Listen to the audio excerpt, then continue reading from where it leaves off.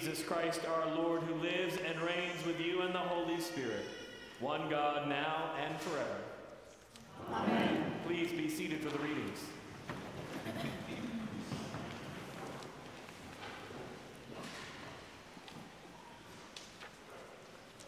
A reading from the prophet Isaiah.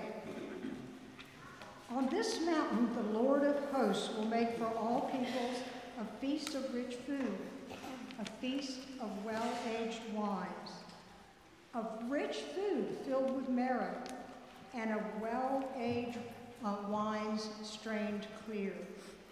And he will destroy on this mountain the shroud that is cast over all peoples, the sheet that is spread over all nations. He will swallow up death forever. Then the Lord will wipe away the tears from all faces, and the disgrace of his people he will take away from all the earth. For the Lord has spoken. It will be said on that day, Lo, this is our God. We have waited for him so that he might save us. This is the Lord for whom we have waited. Let us be glad and rejoice in his salvation. Hear what the Spirit is saying to God's people. Thanks be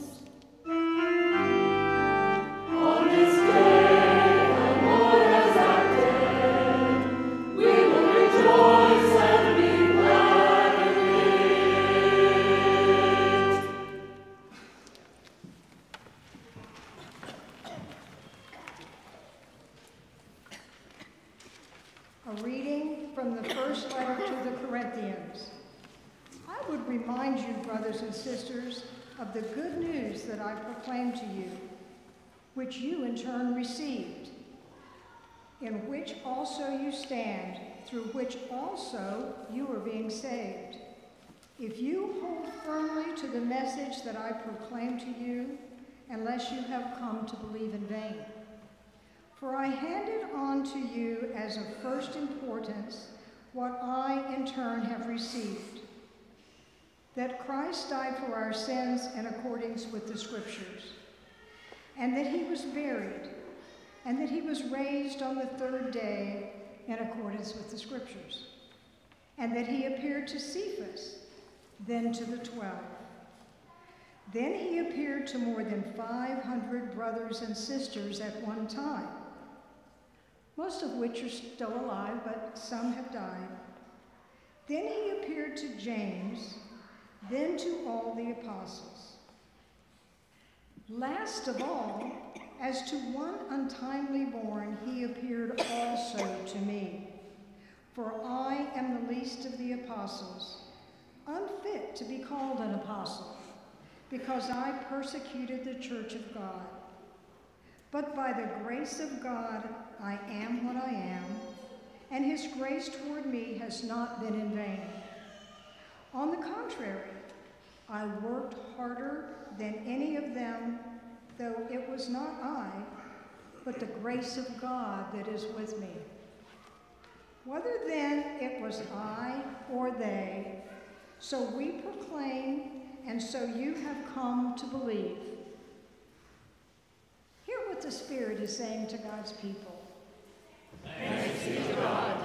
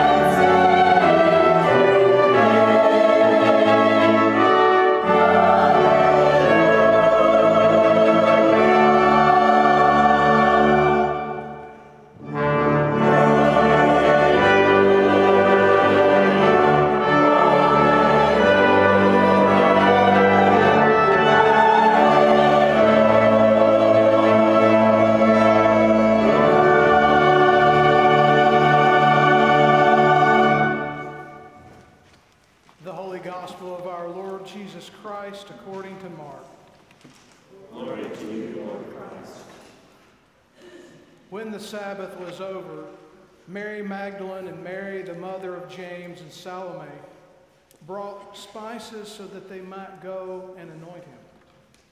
And very early on the first day of the week, when the sun had risen, they went to the tomb. They had been saying to one another, Who will roll away the stone for us from the entrance to the tomb?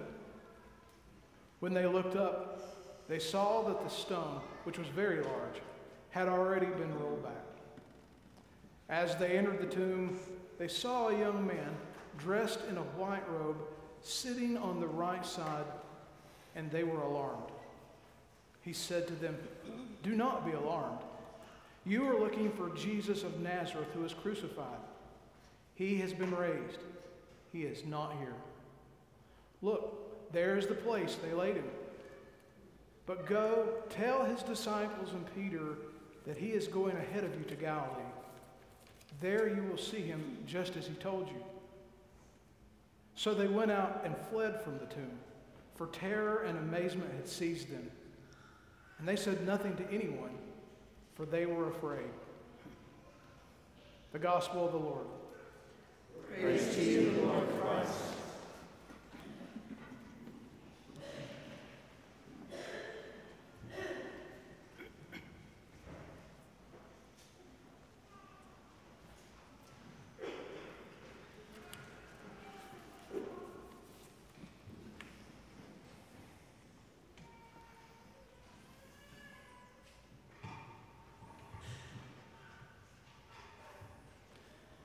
In the name of God, Father, Son, and Holy Spirit. Amen. Please be seated. Alleluia, Christ is risen. The Lord is risen indeed. Alleluia. There are some things that's just great about being an Episcopalian.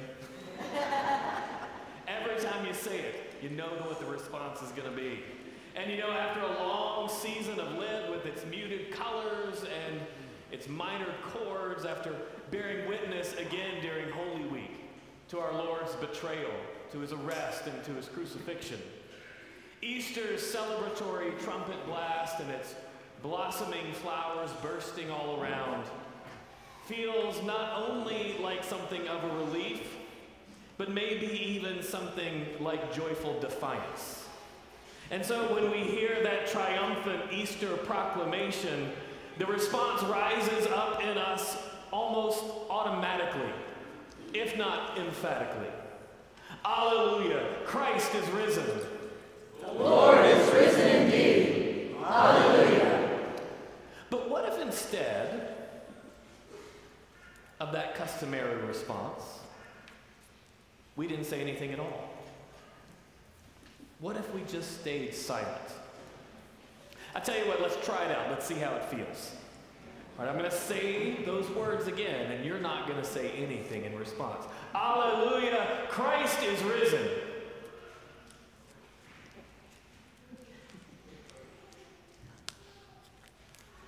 Who liked that? it feels strange, doesn't it?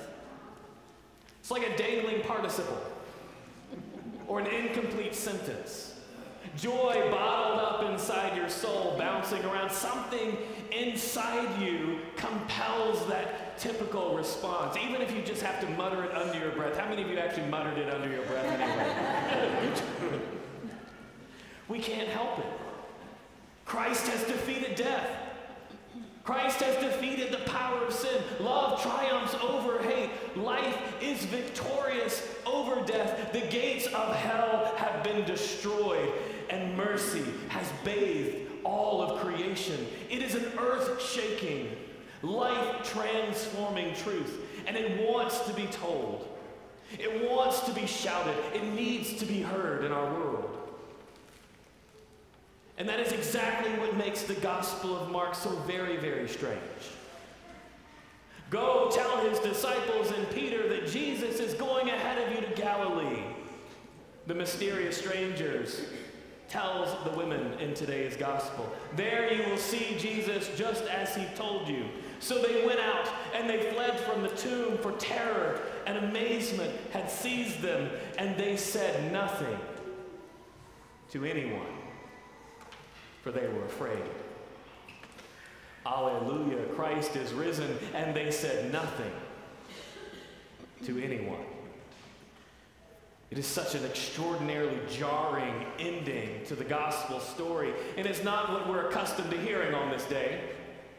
Usually at Easter, we focus on the stories that tie up all the loose ends of Jesus' life on earth. In John's Gospel, we get the grieving Mary Magdalene unexpectedly stumbling upon Jesus in the garden early on Easter Day. Later, Jesus dispels Thomas's doubts by showing him the crucifixion wounds in his hands and side. And still later, Jesus cooks all of his friends breakfast on the beach.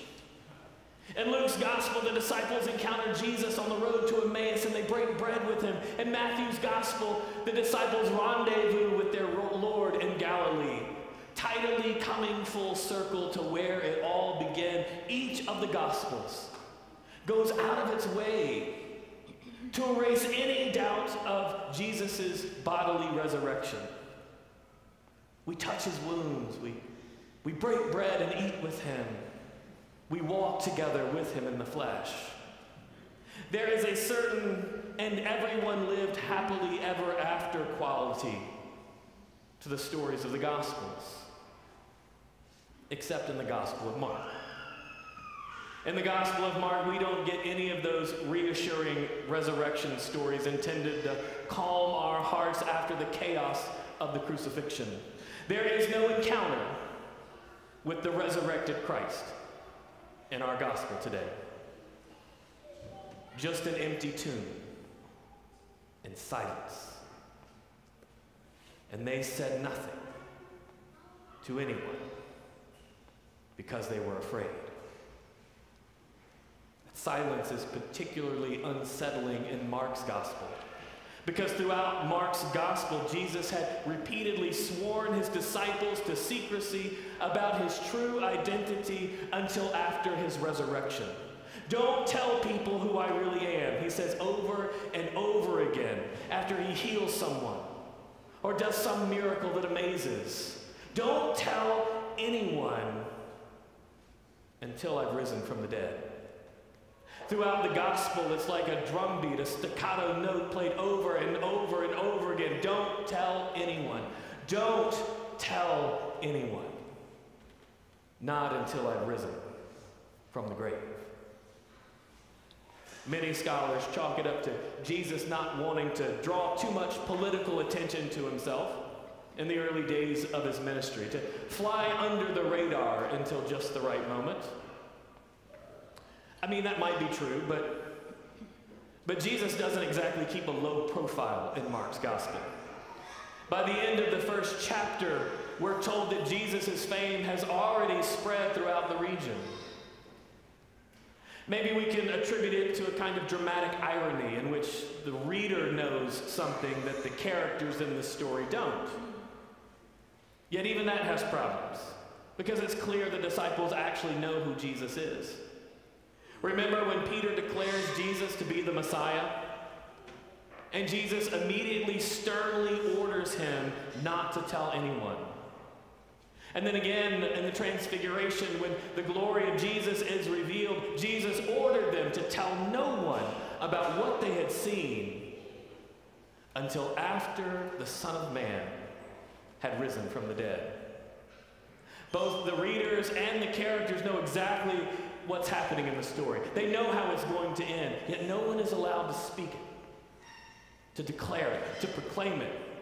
And it's particularly peculiar in Mark's gospel since the gospel literally begins with the proclamation and the revelation of who Jesus really is. The first verse in Mark says, the beginning of the good news of Jesus Christ, the Son of God. And so, in the face of a mystery, scholars have come up with a special term for this aspect of Mark. It's called the messianic secret. But let's be clear, it's something of a misnomer because there's nothing secret about it. It's right there in the first line of the story. The reader knows it, The disciples know it, and in Mark's gospel, even the demons know it. I want to suggest this morning it's more like the messianic embargo. When I was working as a newspaper journalist, organizations and PR firms would regularly release news to us, but they would embargo its release until a certain date. It was a way to give us a heads up about something big coming down the pike. To build excitement and energy around an announcement, it, it gave us a chance to prepare a story so that on the day the embargo is lifted, the airwaves and the newspapers are flooded with your story. It's a great marketing tactic. I think something like that might be going on in Mark's gospel. Christ embargoes this crazy, incredible, life changing good news of God until after he rises from the dead. And so by the end of the gospel, his messianic embargo has built this brilliant tension in the story. It just throngs with it. The universe's best news is on the cusp of being let out. You can almost feel the truth gnawing at the ropes, holding it back. It's a truth that wants to be told. By the closing chapters of Mark's gospel, as, as Christ stands before Pilate in his trial, Pilate, who holds his fate in his hand, our Lord holds the line on that divine embargo in front of the one person who could change the outcome. Jesus refuses to answer Pilate, and, and we are all but shouting in our hearts, Tell him, tell him the truth. Break the silence. Release the good news.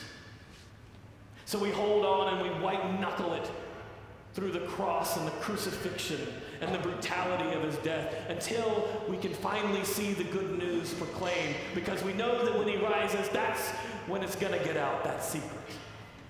The identity of Jesus will be fully and dramatically revealed. We're awaiting that moment when the embargo drops and the open secret is finally proclaimed. But then, then after all the waiting, the tomb is empty. Alleluia, Christ is risen, and the disciples said nothing to anyone because they were afraid. And the gospel ends as abruptly as that. Wasn't this the moment? Wasn't this the moment that the messianic secret was supposed to be shouted from the rooftops? The moment the embargo dropped and the truth was going to flood the world?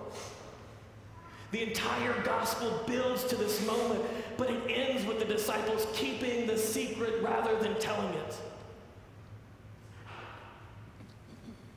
How brilliant is that? If I had to choose a retelling of the gospel, this is the one. Of course, someone told eventually. We have the story. But Mark chooses to end his gospel story here so that Mark can drop the resurrection into the lap of every single reader who hears his message for the next 2,000 years. He puts the messianic secret into each of our hands. In the deafening silence of the final words of Mark's gospel, it is suddenly all up to us, the reader, to respond. It's probably why, I suppose, we have so many different additions to the end of Mark's gospel. Over the years, folks have penned more satisfying conclusions. They're later additions. The earliest manuscripts of Mark's ends with silence. But we couldn't leave what was unsettled, so we tried to settle it. Because otherwise, if it's left unsettled, we become the bearers of the messianic secret that aches to be told every time we read Mark's gospel. Because otherwise, the story isn't over. Because otherwise, Mark's gospel really is, as it says in the first verse, only the beginning of the good news of Jesus Christ, the Son of God. It's only the beginning. It's not the whole story, not even close. Mark ends his gospel in verse 8. so that we can become verse 9. We are that most important yet unwritten verse in the gospel. We are what comes next. We are the ongoing story of the gospel in the world. Indeed, the most important verse in the gospel of Mark is the one the writer intentionally never wrote. The most important verse is the one that you and I write when we leave this place and we go out into a world that is desperate and hungry for grace, that is desperate and hungry for mercy, that is desperate and hungry for love. In Mark's gospel, you matter. You matter to God. You matter to God's story. The story ends without you. You are the next verse. You are the next chapter. You are the next story. You are where God's grace unfolds in the world. Mark ends his gospel in this way so that we will know without a shadow of a doubt that we've been entrusted with the world changing good news. And that for the story to go on in this world, it must go on in our lives. That it's up to us to break the disciples' silence. I don't think that means we go down to Main Street and during Easter brunch, we start shouting Bible verses at people. no, we proclaim the gospel not just with our lips, but with our lives. We proclaim with our lives that love is stronger than hate, that life is victorious over death, that mercy triumphs over judgment we get to break the silence and proclaim the good news that God loves you so much more than you could ever imagine. So much that God would rather die than condemn you. So much so that God in Christ would break down the gates of hell to retrieve that one lost sheep to proclaim the good news with our lives that by his death, Christ has destroyed death. And by his rising, he has won for us everlasting life. My friends, that is good news indeed. It's good news we need, and it's good news the world needs. And it's up to us to tell the story. It's up to us to break the silence. Alleluia. Christ is risen. The Lord is risen indeed. Alleluia. Alleluia. Alleluia. Alleluia.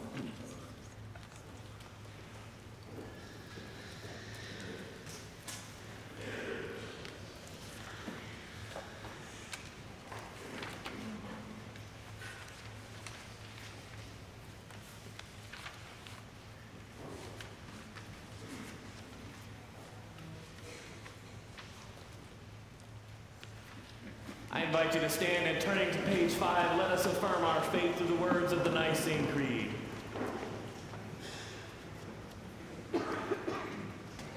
We believe in one God, the Father, the Almighty, maker of heaven and earth, of all that is seen and unseen.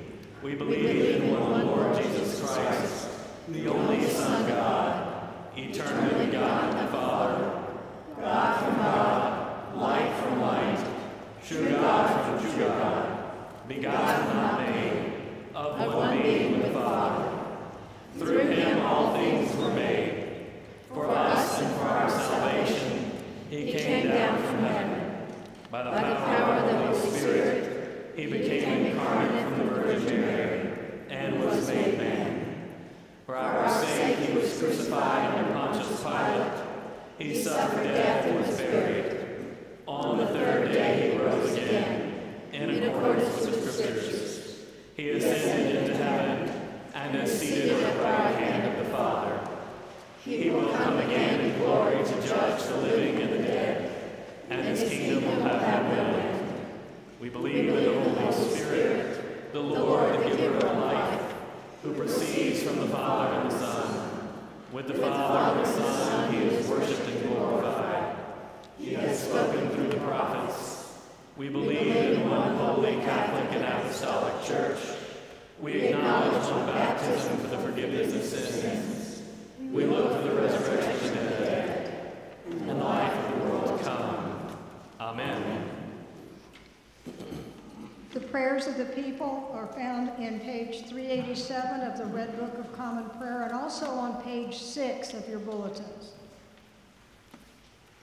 Father, we pray for your holy Catholic Church.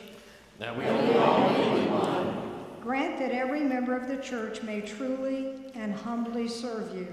That your name may be glorified by all people. We pray for all bishops, priests, and deacons.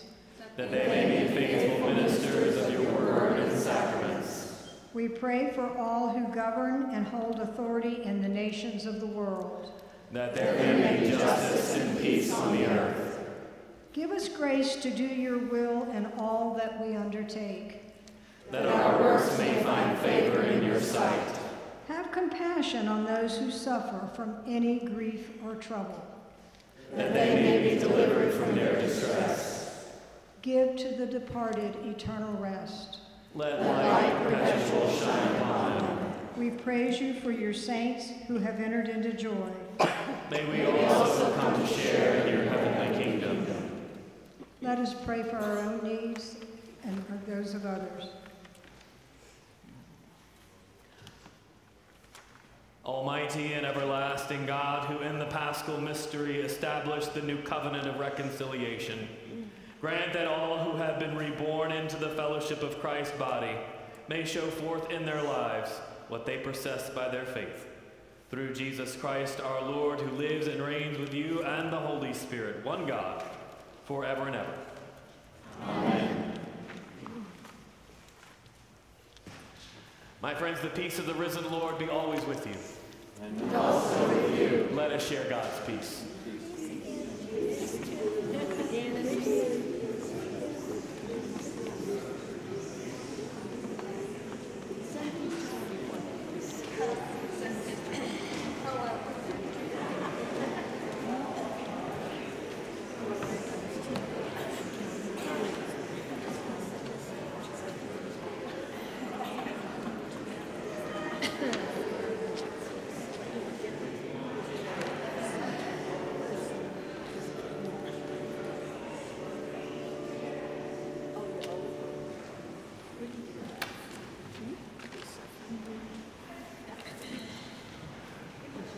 Well, good morning and welcome to St. James on this holy and, and blessed Easter day. You may have a seat for a few announcements. Um, it's such a joy to be with you this morning as we celebrate our Lord's resurrection and his defeat of death and of sin. Um, it is a good and glorious day indeed. So thank you for being here. If you are joining us for the first time or the first time in a long time, I want to extend a special thank you and a special welcome. I know it's often not easy to walk into a new space with different things going on, and, and if this is your first time in a long time in an Episcopal church, or even your first time in an Episcopal church, congratulations, you, are, you have more courage than most uh, to come on, on Easter Day and have to juggle all the things. So, but we're so glad that you're here, and we would love to get to know you. There's a, a card in the pew back um, that is for you to write your name and your contact information. Um, we really do want to get to know you, and we want you to get to know us and what God is doing here and how you can be a part of that, because we really do believe that you belong in the house of God in some way, and there's a place for you here at St. James. Um, so as the offering plate comes by, just drop that in. That is your best offering you can give us today. Um, that would be a, a, tremendous gift for us. Um, our offering today, uh, as we do every Easter, uh, we, we, we share a tithe of the Easter offering with one of our outreach partners. So today, um, as you give for uh, an Easter offering, 10% of that will go to our partners in the Episcopal Diocese in Jerusalem. Uh, given the, the, the, violence and the war in the Holy Land, uh, our brothers and sisters in the Episcopal Diocese of Jerusalem are continuing to proclaim the resurrection in the midst of, uh, of war and in the midst of death. So it's good and it's holy and it's difficult, but it's important work. And this is one way we can continue to share in the resurrection. So please let us know if, if, you're, if you are giving for our Easter offering just by notating that on your check or on the envelope. Um, we have had a tremendous week here at St. James, and um, I, I, want to say thank you to everybody um, who helped to make it happen. Um, you, you, you see a handful of us up here, but it's, it's like that old metaphor of the duck that you see swimming, and like all the legs of all the church underneath going 90 to nothing, paddling us through Holy Week. So it takes so many folks. Uh, to make this week happen.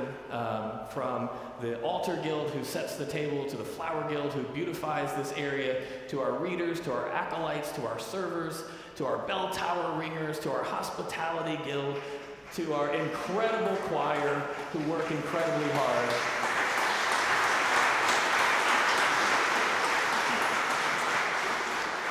Our AV ministry, uh, this is the danger of doing this. You always accidentally forget someone. So uh, every year I update my thank yous with who I forgot. But I want you to know that if I, I haven't mentioned you or, or your team that's helped, I am thankful because every small thing that happens and every large thing that happens makes this service possible, even if it's just holding the door open for somebody coming in.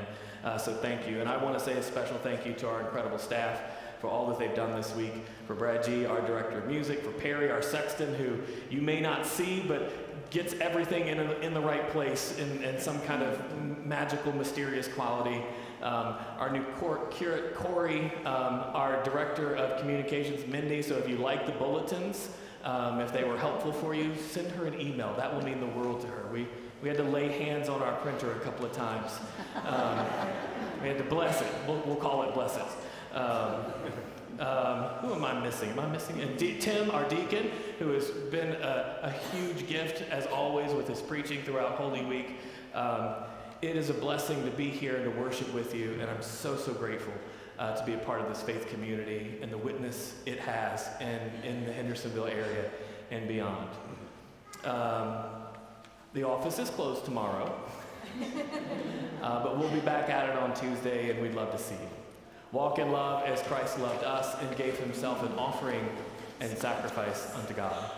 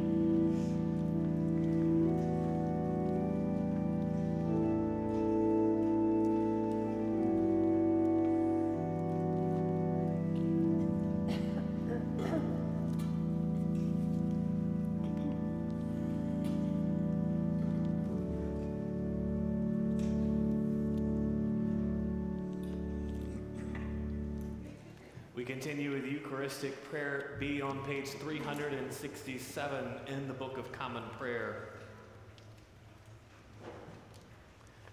The Lord be with you. And also with you. Lift up your hearts. We lift thanks to the Lord. Let us give thanks to the Lord our God. It is right to give God thanks and praise. It is right and a good and joyful thing always and everywhere to give thanks to you, Father Almighty, Creator of heaven and earth. But chiefly are we bound to praise you for the glorious resurrection of your Son, Jesus Christ our Lord. For he is the true paschal lamb who was sacrificed for us and has taken away the sin of the world. By his death he has destroyed death and by his rising to life again, he has won for us everlasting life. Therefore, we praise you, joining our voices with angels and archangels, and with all the company of heaven, who forever sing this hymn to proclaim the glory of your name.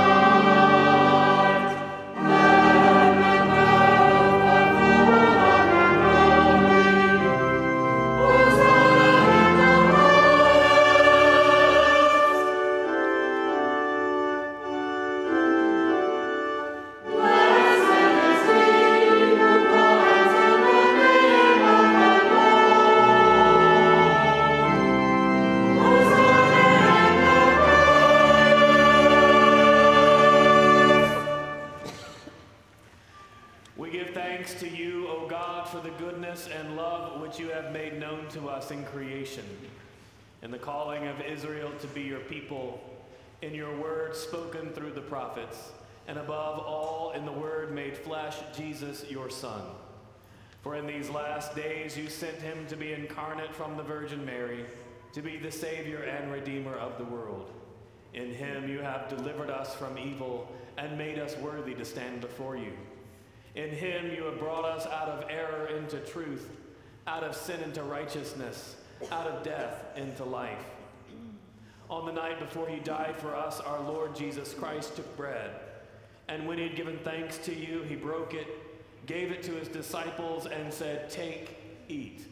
This is my body, which is given for you. Do this for the remembrance of me.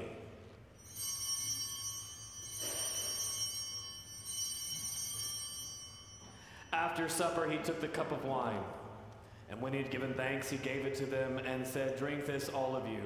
This is my blood of the new covenant, which is shed for you and for many for the forgiveness of sins. Whenever you drink it, do this for the remembrance of me.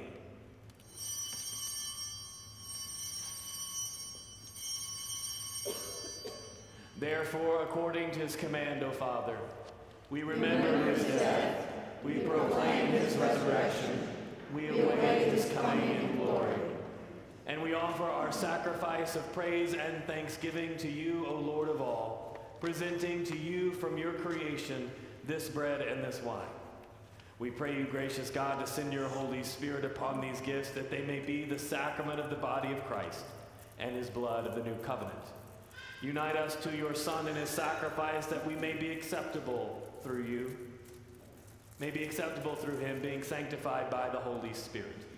In the fullness of time, put all things in subjection under your Christ, and bring us to that heavenly country where with blessed James and all your saints we may enter the everlasting heritage of your sons and daughters, through Jesus Christ our Lord, the firstborn of all creation, the head of the church, and the author of our salvation. By him and with him and in him, in the unity of the Holy Spirit, all honor and glory is yours, Almighty Father, now and forever. Amen. As our Savior Christ has taught us, we now pray. Our